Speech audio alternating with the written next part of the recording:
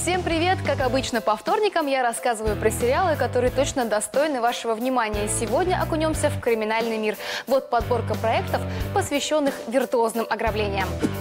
Начнем с сериала, о котором сейчас говорят все. «Бумажный дом» лично меня привлек тем, что это непривычный английский или американский проект. Он снят в Испании. А это, как минимум, новые лица, своеобразная съемка и, конечно, несколько иная актерская игра. А теперь к сюжету. Загадочный человек по прозвищу Профессор собирает команду жуликов экстра-класса, чтобы совершить дерзкое вооруженное проникновение в Королевский монетный двор. Но цель грабителей вовсе не мешок денег. Они планируют напечатать почти 2,5 миллиарда евро за 11 дней. Что же из этого выйдет, расскажут 4 сезона сериала. О непростой женской доле расскажет сериал «Хорошие девочки».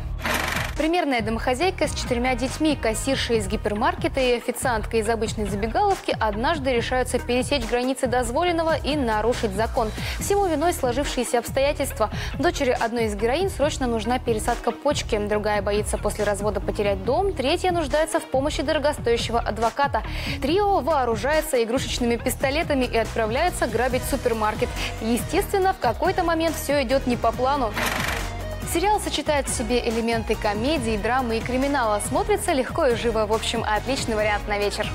Поклонники Паттерианы точно оценят сериал «Большой куш», а все потому, что там снимается Роберт Гринт.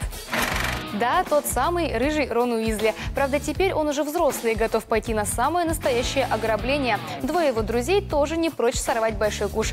В общем, история по мотивам ленты Гая Ричи. Чувствуется его фирменный стиль. Герои идут на дело по наводке, но встречают совсем не то, что ожидали. Так они оказываются втянутыми в крупную опасную игру. Слинять уже не выйдет, так что придется выкручиваться. Любителям добротных британских сериалов и криминальных комедий этот проект точно понравится. Надеюсь, я обошлась без спойлеров, но в четверг вспомним, что же выходило на этой неделе на больших экранах.